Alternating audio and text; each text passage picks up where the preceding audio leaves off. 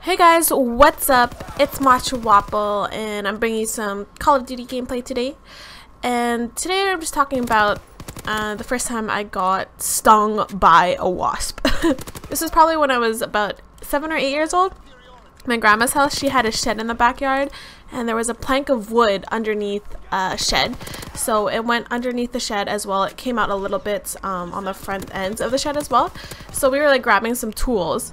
And of course, me as a kid, I would jump up and down on that plank.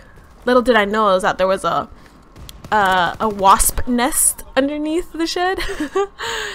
and I was jumping on it like I think 10 times or so. And then all of a sudden I just hear all these buzzing noises and I'm like, what is this? What is this? This is not a vibrating PS4 controller.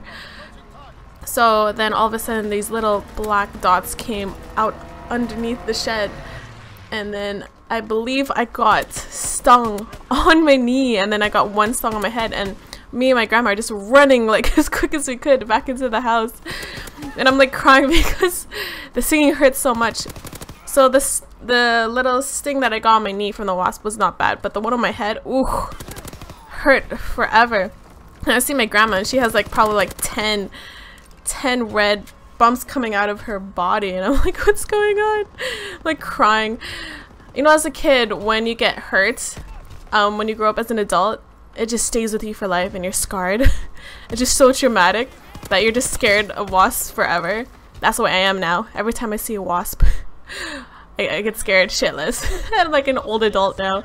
So funny. But, uh, I probably just I hate wasps so much. Bees are a lot better. But anyway, thank you guys so much for listening. Um, if you guys ever got stung by a bee, let me know in a comment, subscribe, and like. Have a great day, guys. Bye!